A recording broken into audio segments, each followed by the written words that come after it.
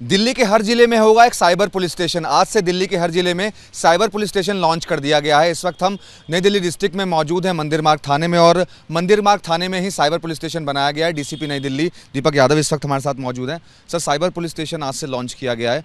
तो कितना cyber crime में सुधार आएगा लॉन्च करने के बाद? देखिए, पहले हर ज़िले में एक साइबर सेल होता था और साइबर सेल का काम होता था आई को असिस्ट करना। जो भी टेक्निकल इन्वेस्टिगेशन है, उसमें हेल्प करते थे। लेकिन देखा गया कि over a period of time जो साइबर क्राइम का इंसिडेंट्स है, जो केसेस हैं, वो काफ़ी बढ़ रहे हैं। तो ऐसे में एक डेडिकेटेड वे में इस, ये जो मैनस है साइबर क्राइम का, इसको डील करने के लिए एक इंस्टीट्यूशनल मैकेनिज़्म की आवश्यकता थी। तो इसी दिशा में एक, शुरुआत है। इसमें जो वर्दी कमिश्नर ऑफ़ पुलिस हैं, उन्होंने ये इनिशिएटिव लिया और उसके बाद, हर डिस्ट्रिक्ट में एक एक साइबर क्राइम पुलिस स्टेशन जो है नोटिफाई हुआ। तो इसी दिशा में आज मंदिर मार्ग पुलिस स्टेशन में हमने साइबर क्राइम पुलिस स्टेशन को आज से ऑपरेशनलाइज कर दिया है। हमारे इंस्पेक्टर स्पेशल स्टाफ हैं, इंस्पेक्टर रामनिवास। ये अभी लुक आफ्टर चार्ज के में इसका एसएचओ का चार्ज देखेंगे। बाकी रेगुलर जो एसएचओ जो है, उनका डिप्लॉयमेंट उनका पोस्टिंग वो जल्दी ही हो जाएगा। लगातार साइबर क्राइम के मामले सामने आते हैं तो आपके डिस्ट्रिक्ट में किस तरीके के मामले सामने आए और कैसे कैसे आपने उनको वर्कआउट किया है? अलग अलग किस्म के आ, जो इनकी जो साइबर क्रिमिनल्स हैं इनकी मॉडल्स ऑपरेंडी है वो हर दिन इवॉल्व होती रहती है नई नई चीज़ें करते रहते हैं। जैसे पुराने वाली जो मॉडल्स ऑपरेंडी है उस पर लोग उसके लिए उससे अलर्ट हो जाते हैं तो फिर ये नया कुछ ले आते हैं। तो जो देखा जा रहा है ओटीपी रिलेटेड फ्रॉड्स काफ़ी ज़्यादा रहे हैं। उसके अलावा फिर जो एनी डेस्क की जो एप्लीकेशन इंस्टॉल करा के जो मोबाइल फ़ोन है, उसका रिमोट कंट्रोल ले लिया जाता है, वो एक तरीका है। और एक जो क्यूआर कोड को स्कैन करके और फिर अकाउंट से पैसा डेबिट कर लिया जाता है, ये एक तरीका है। अभी सेक्सटॉर्शन के भी केसेस कुछ रजिस्टर हुए हैं और हमने दो ऐसे केस वर्कआउट भी किए हैं जिसमें हरियाणा राजस्थान बॉर्डर से हमने लोगों को अरेस्ट किया था।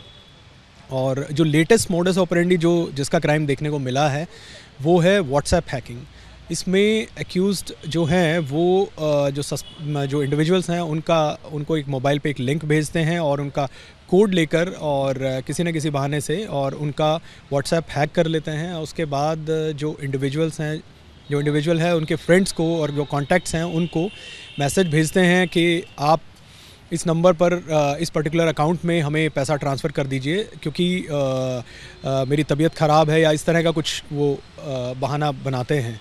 और फिर लोगों को लगता है कि मेरा जो फ्रेंड है वो बीमार है हॉस्पिटलाइज है तो इसीलिए वो पैसा भी ट्रांसफ़र कर देते हैं।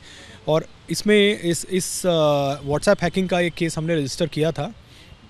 इसमें हमने एक नाइजीरियन नेशनल को अरेस्ट किया था बेंगलोर से। तो ये बात देखने को आई कि बहुत सारे लोगों को ये भी नहीं पता था कि उनके साथ चीटिंग हो चुकी है। उनको लगा कि उन्होंने जेनविन ट्रांसफ़र किया है जेनविन अकाउंट में ट्रांसफ़र किया है। और अकाउंट के अंदर ये लोग जो कुछ अकाउंट्स हैं, जो गरीब लोगों के अकाउंट हैं, उनको कुछ पैसा पे करके उनका अकाउंट हायरिंग पे ये लोग ले लेते हैं।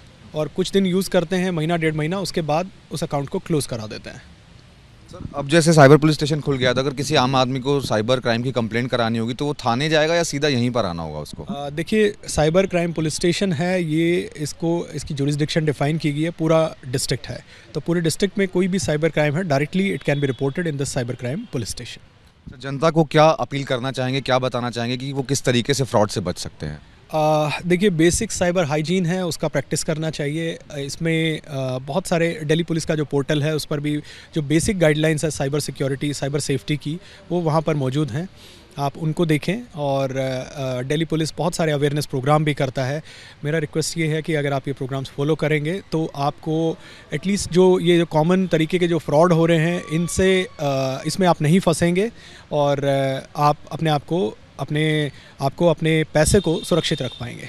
डीसीपी नई दिल्ली जिन्होंने साफ़ तौर पर हमें ये बताया कि अब दिल्ली के जो, दिल्ली की जो पंद्रह डिस्ट्रिक्ट है, वहाँ पर साइबर पुलिस स्टेशन की शुरुआत आज से हो चुकी है। हमने जैसा कि आपको दिखाया कि इस वक्त हम मंदिर मार्ग पुलिस स्टेशन में खड़े हुए हैं और मंदिर मार्ग पुलिस स्टेशन में ही जो साइबर पुलिस स्टेशन है, वो यहाँ पर बनाया गया है। यहाँ पर बाकायदा एस जो है, उनको तैनात किया गया। अब जो भी इस पूरी डिस्ट्रिक्ट की कंप्लेंट्स होंगी साइबर की, वो मंदिर मार्ग पुलिस स्टेशन में ही पहुँचेंगी और उनको यहीं पर सॉल्व किया जाएगा। तो अब दिल्ली की पंद्रह डिस्ट्रिक्ट के अंदर जो भी साइबर क्राइम होगा, वो डिस्ट्रिक्ट वाइज ही सुलझाया जाएगा।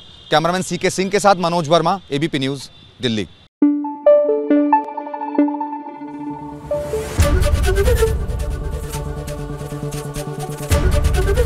ABP news आपको रखे आगे।